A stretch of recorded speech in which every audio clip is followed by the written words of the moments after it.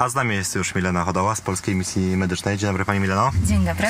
Em, Chciałbym, żebyśmy porozmawiali o czymś zupełnie innym teraz w naszym programie, o sytuacji w Ukrainie i o tym, co robi Polska Misja Medyczna i w jaki sposób pomaga mm, lekarzom i ochron- systemowi ochrony zdrowia e, na, w Ukrainie. Ale najpierw chciałbym, żebyśmy porozmawiali o tym, co dzieje się w tle tej wojny, o czym pewnie mniej trochę mówimy, a więc o sytuacji matek, o sytuacji ukraińskich noworodków.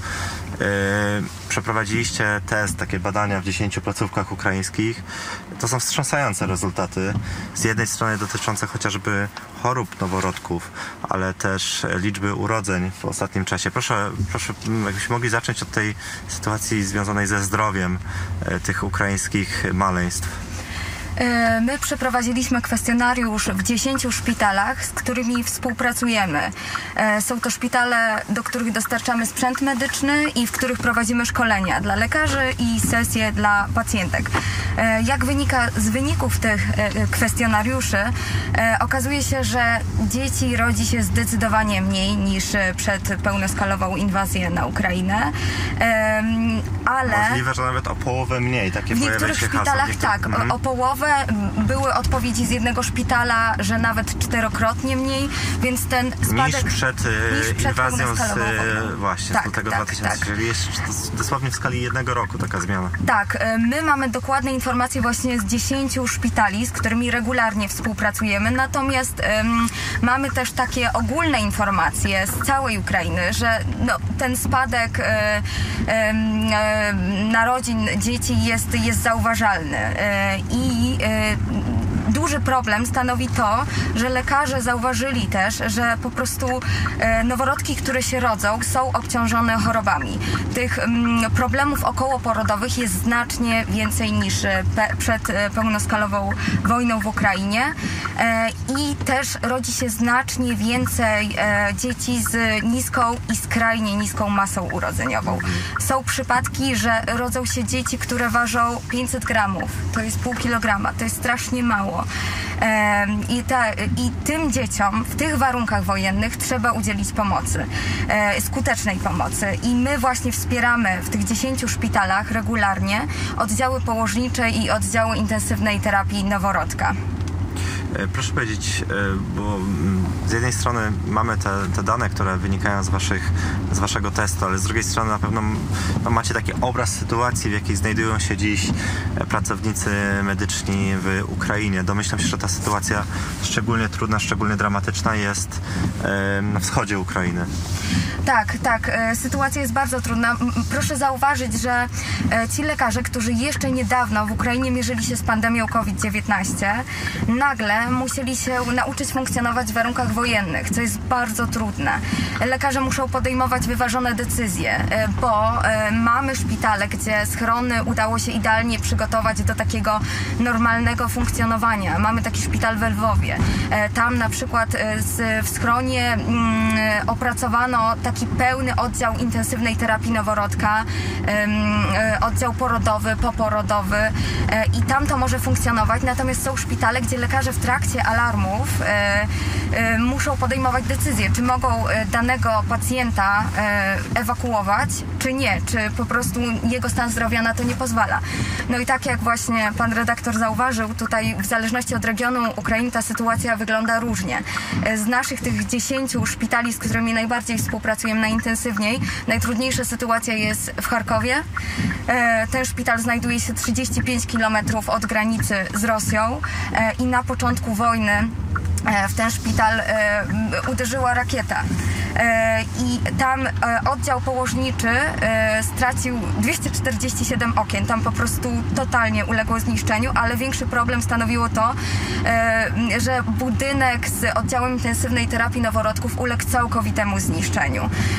Ten budynek nie nadaje się do użytku. Tam cała wentylacja została uszkodzo- uszkodzona, płonęło la- laboratorium bakteriologiczne. No szczęście, y, na szczęście udało się ewakuować wszystkie noworodki, które wtedy przebywały na tym oddziale intensywnej terapii. terapii. Tam wtedy było 18 noworodków. E, w tym e, połowa była podpięta do respiratorów, nie była sama w stanie funkcjonować i lekarze z tamtego szpitala mówią, że to cud, że udało się ewakuować wszystkie noworodki i nikt nie zginął i no, nikt nie poniósł jakichś cięższych obrażeń, ani personel, ani pacjenci. Teraz właśnie ten oddział intensywnej terapii w Charkowie dla noworodków został przeniesiony do innego budynku, ale tam rzeczywiście e, warunki cały czas są trudne, oni cały czas się mierzą z ostrzałem. E, zresztą ze wszystkich tych dziesięciu szpitali mamy informacje, wszystkie szpitale przyjmowały porody w schronach. W niektórych szpitalach przeprowadzono też operacje chirurgiczne w schronach, więc oni, oni są już do tego przyzwyczajeni. A jak same kobiety radzą sobie z rodzeniem w takich w takich warunkach. Przychodzi mi na myśl, miałem okazję kiedyś wraz z Fundacją UNICEF, ze Stowarzyszeniem UNICEF bywać w krajach afrykańskich, gdzie opowiadaliśmy o tym właśnie, jak wyglądają oddziały położnicze, ginekologiczne i pamiętam, że ambasador UNICEF wtedy powiedział, że że to są takie warunki, w których, w których nawet zwierzęta nie powinny być e, leczone, a tam no, to wyglądało w sposób straszny z punktu widzenia e, Europy.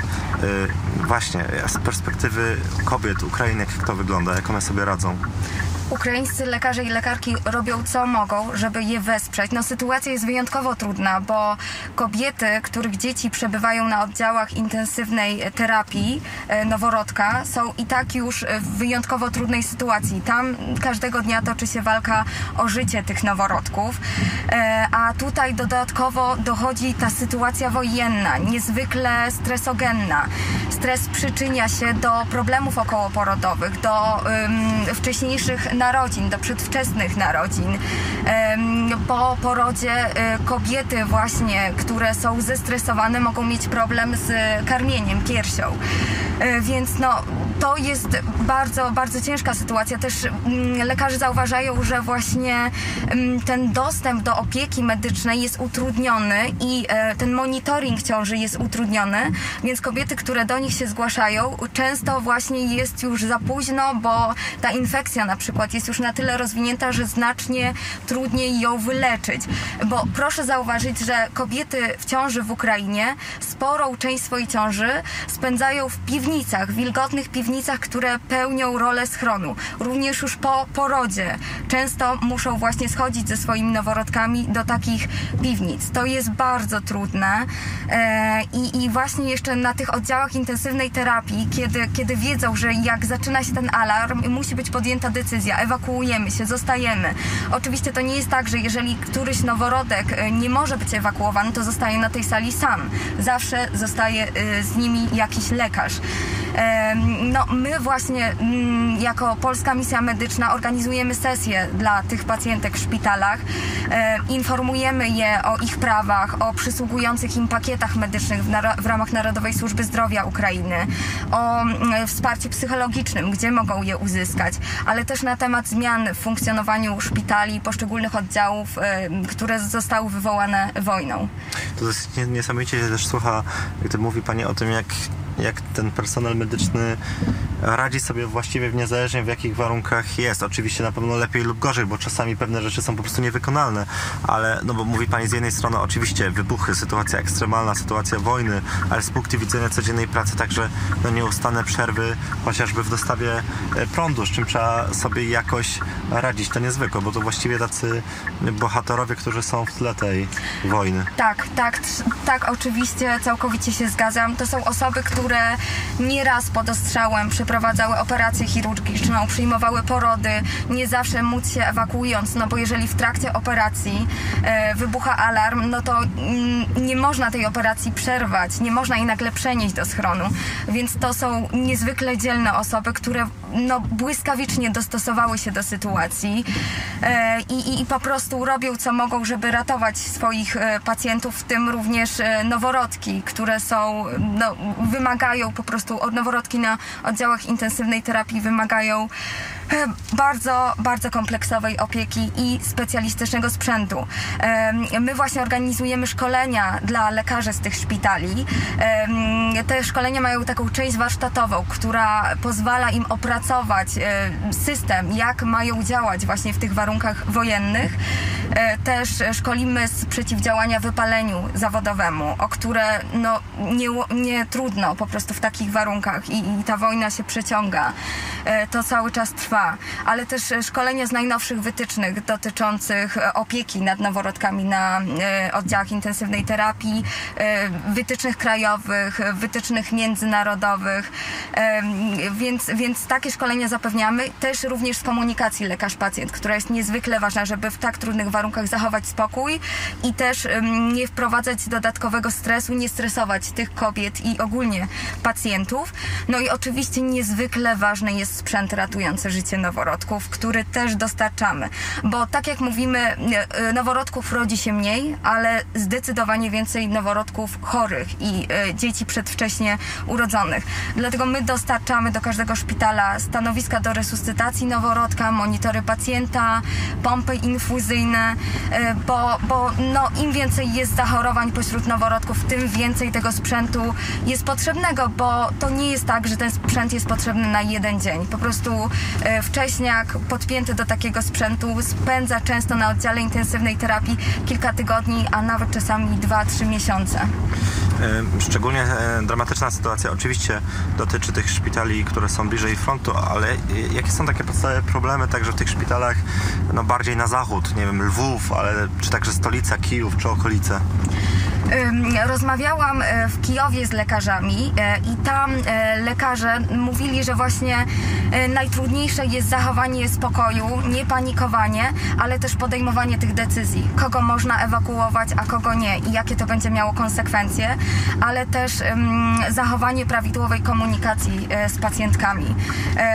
Właśnie nie stresowanie ich dodatkowo, bo te kobiety często właśnie to jest, to jest problem nie tylko w Ukrainie, tylko ogólnie problem pośród mam e, wcześniaków, że często te kobiety się obwiniają i, i właśnie to jest w sytuacji wojennej też rola lekarzy, neonatologów, żeby, żeby je uspokoić, przekonać, że wszystko jest, e, że robią wszystko, żeby uratować to dziecko i że to nie jest ich e, wina.